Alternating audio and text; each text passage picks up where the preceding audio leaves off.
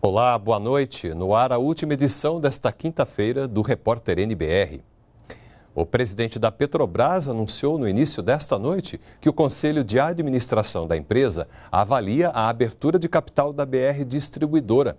O repórter José Luiz Filho acompanhou tudo e traz as informações para a gente.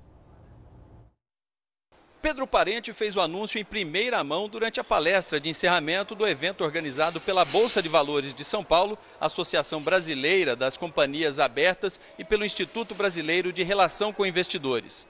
A abertura de capital é a venda de ações de uma empresa no mercado, no caso a BR Distribuidora. Segundo o presidente da Petrobras, a venda de ações da BR Distribuidora vai trazer mais recursos para a companhia o percentual de ações que serão colocadas à venda e a forma como será feita essa abertura de capital estão em estudo e estas e outras questões serão definidas e apresentadas ao mercado no mês de julho. De São Paulo, José Luiz Filho. Cidadãos e empresas vão ter condições especiais para negociarem dívidas com a União, com descontos que podem chegar a 90% dos juros e 50% das multas para quem pagar o débito à vista é o Programa Especial de Regularização Tributária e a adesão pode ser feita a partir de 3 de julho. Podem aderir ao Programa Especial de Regularização Tributária empresas e pessoas físicas que tenham dívidas com a Receita Federal ou que já foram incluídas na dívida ativa da União, vencidas até o dia 30 de abril deste ano. Quem aderir ao programa terá a oportunidade de pagar as contas com descontos. No valor à vista, o desconto será de até 90% no valor dos juros e 50% das multas. Já as dívidas com a Procuradoria-Geral da Fazenda Nacional serão de até 25% nos honorários advocatícios e nos encargos. A estimativa do governo é que 200 mil contribuintes façam adesão ao programa e que sejam negociados cerca de 200 bilhões de reais. Só para este ano deverão ser arrecadados 10 bilhões de reais com o programa. Todo o processo de adesão será feito pela internet a partir do dia 3 de julho e o prazo vai até o dia 31 de agosto. A adesão só será confirmada depois do pagamento da primeira parcela ou do valor à vista. O valor da parcela mínima será de 200 reais para pessoas físicas e de R$ 1.000 para pessoas jurídicas. O endereço da Receita Federal na internet é receita.fazenda.gov.br. De Brasília, Ney Pereira. O Banco Central estima uma inflação menor este ano. É o que indica o relatório trimestral de inflação divulgado hoje. Pelos cálculos do Banco Central, a inflação oficial medida pelo IPCA deverá ficar em 3,8%. A estimativa de crescimento foi mantida em 0,5%. Divulgado e vendido no mundo inteiro como um produto supostamente terapêutico, um brinquedo tem atraído a atenção de crianças no Brasil. Mas o Inmetro alerta que esse brinquedo, aparentemente inofensivo, pode causar acidentes, especialmente em crianças menores de 6 anos. Tem de todas as cores e diferentes formatos, alguns até com luzes de LED que produzem efeitos visuais atraentes. Com três pontas, a graça do hand spinner é fazê-los girar em diversas posições. Assim, o brinquedo tem conquistado crianças em vários países e já virou febre no Brasil. Hoje é um dos, dos produtos que mais se vende na feira dos importados, né? É o hand spinner e tem muita procura mesmo.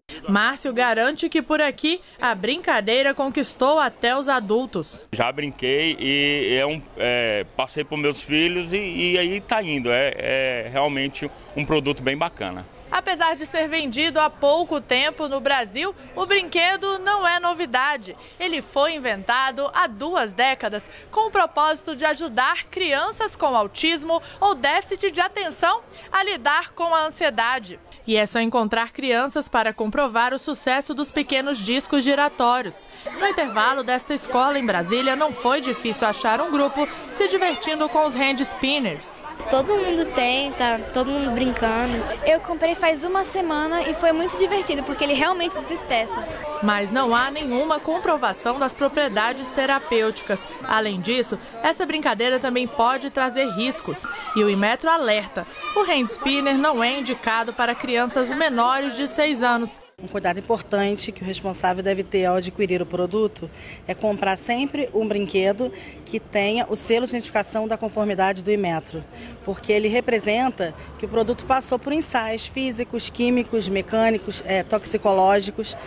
É, outro alerta importante para as crianças maiores de 6 anos que sejam sempre usados com é, a atenção dos pais e responsáveis.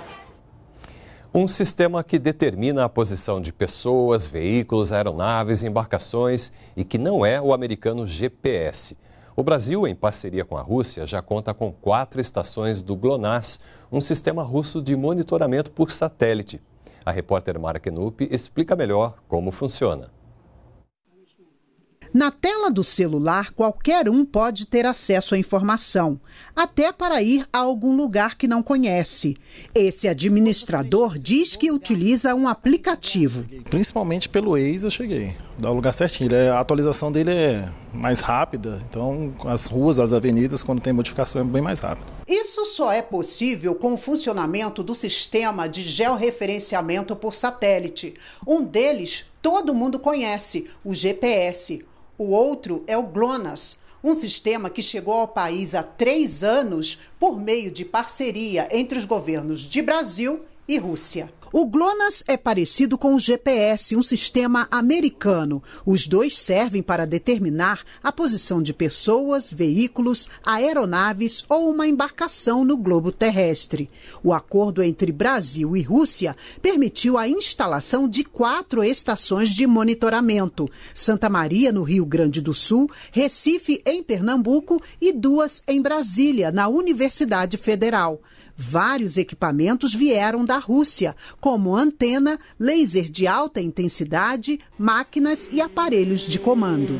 A contribuição que nós estamos fazendo para a sociedade, né, ela está voltada para é, as melhorias né, na qualidade do serviço da, da, da aviação civil, né, dos sistemas de georreferenciamento. As estações são operadas por profissionais da Agência Espacial Brasileira e da Agência da Rússia e servem para desenvolver pesquisas nas universidades. O projeto GLONASS no Brasil ainda prevê a instalação de mais estações de monitoramento mais duas instalações e aí que seriam localizadas mais na região amazônica do Brasil. O sinal do sistema GLONASS melhora a precisão dos nossos é, dispositivos de localização. O Brasil começa a desenvolver nessas unidades acadêmicas, nessa, nessas universidades, é, conhecimento aprofundado do que são esses sistemas de navegação. Na Rússia, o presidente Michel Temer avaliou positivamente os resultados obtidos pelas universidades brasileiras na utilização do sistema russo de satélite. Conversei com o presidente Putin sobre a cooperação em outras áreas-chave para o desenvolvimento de nossos países. Nosso objetivo é colocar a parceria com a Rússia também a serviço de nosso progresso científico e tecnológico. Avaliamos também positivamente os resultados obtidos por universidades brasileiras no uso do sistema russo de navegação por satélite, o GLONASS, e nós queremos expandir essa experiência. Esta edição termina aqui e você pode rever as reportagens no YouTube. E toda a programação também está em nossa página na internet. Uma ótima noite para você e continue com a gente aqui na NBR, a TV do Governo Federal.